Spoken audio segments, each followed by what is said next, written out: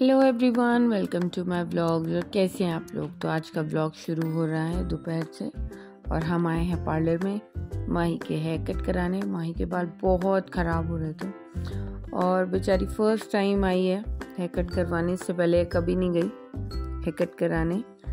मैं ही घर में उल्टा सुल्टा काट देती थी इसका। तो देखते हैं कैसी हेयर कट कराते हैं। तो इसके कैसा लग रहा है my you came first time हाँ? हाउ डू यू फील अच्छा लग रहा है? हाँ मैं घर में ही करती हूँ ना, इसके पटांग अपने। है ना? कैसी कटिंग करानी? कैसी कटिंग करानी? दर्द भी ना हो। हम्म?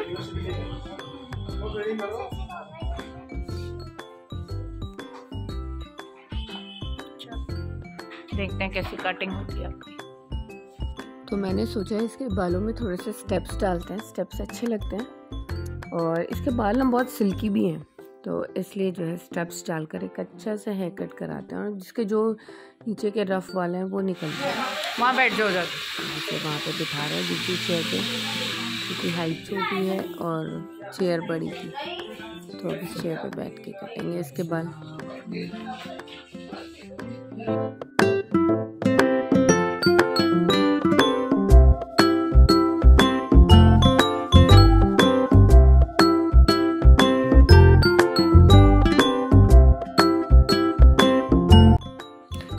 मेरा भी मन कर गया बाल कटाने के लिए, क्योंकि बहुत मेरे बाल भी ख़राब हो रहे थे और काफ़ी टाइम से मैंने हेयर कट भी नहीं कराया था।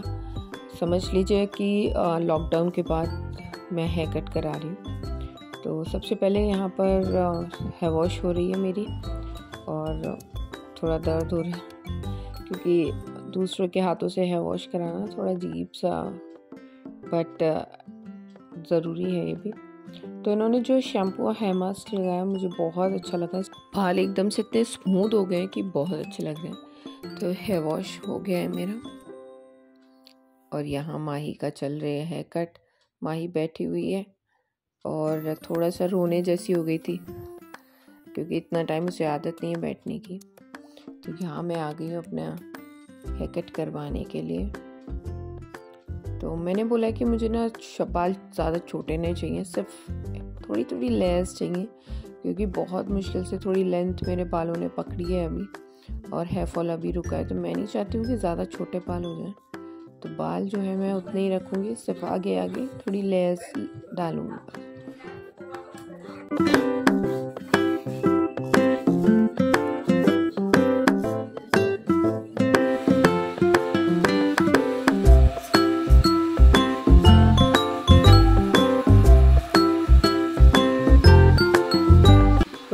कट हो गई है और ड्रायर लग रहा है और ये माही बैठी है। अचानक से माही रोने लगी। जब इसको हेयर ड्रायर लग रहा था, गर्म लगने लगा, रोने लगी। तो अभी बेचारी चुपचाप बैठी हुई है। तो बस मेरा भी काम होने वाला ऑलमोस्ट ख़त्म होने वाला है। फिर चलते हैं घर। दोनों माँ बेटियों का लोग।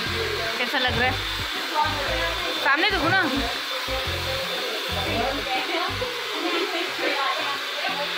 थैंक यू भैया, बहुत अच्छी सर्विस थी आपकी।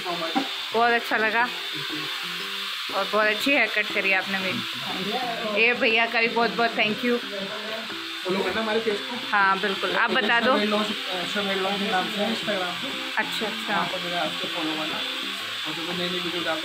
बिल्कुल बिल्कुल। बिल्कुल जी। मैं मेंशन कर दूँगी।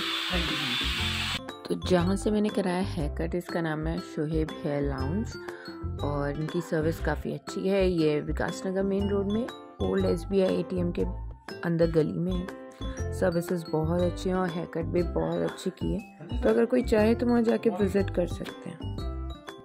ये है माही का लुक माही के हमने क्या कराया लेयर्स कराई हैं। है ना? अच्छी लग रही हैं बहुत। और जितने भी ख़राब बाल थे सीधे देखो जितने भी ख़राब बाल थे वो सब कट गए है ना? स्मार्ट लग रही प्यारी प्यारी अब चुटिया चुटिया बना देखेंगे अभी चुटिया बनाएँगे क्या करेंगे। क्योंकि बन जाएगी एक छोटी सी अगर छोटी नहीं चाहिए। मैं तो खुले बाल में जाऊँगी। चलो देखते हैं।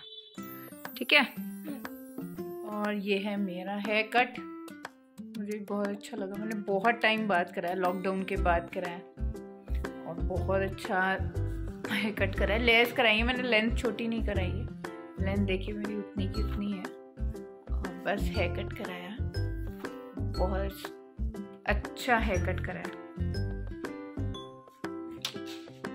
यहाँ ये बन रही है चाय और साथ में बनाते हैं मैगी क्योंकि मैंने लंच नहीं करा है कट के चक्कर में। तो फिर मैगी बनाते हैं। आइए चाय पत्ती। दूसरी तरफ़ चढ़ाते हैं हम अपनी मैगी। ये बन रही है भाई मैगी। इधर दूध रखा है। उबलने और ये चाय बन रही है।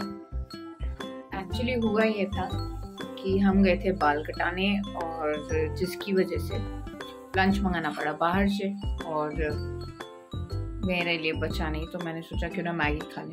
भूख लग रही बहुत तेज। तो बस मैगी खाते हैं, मैगी हो गई रेडी चलते हैं। तो हेयर कट बहुत अच्छी लग रही है।